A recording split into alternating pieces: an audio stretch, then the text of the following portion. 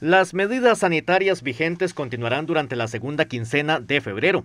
De esta manera, la restricción vehicular sanitaria, los aforos, el horario de establecimientos, entre otros, se mantendrán tal cual le rigen actualmente y hasta el 28 de febrero.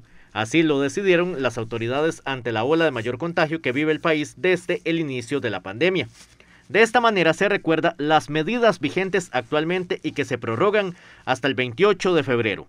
La restricción vehicular sanitaria, el horario de la restricción nocturna para todo el país es de lunes a domingo de 12 medianoche a 5 de la mañana del siguiente día. Por su parte, la restricción diurna continuará aplicándose entre semana únicamente en el anillo de circunvalación de San José. Los establecimientos con permiso sanitario de funcionamiento de atención al público podrán funcionar de lunes a domingo entre 5 de la mañana a 12 medianoche y en concordancia con la restricción vehicular.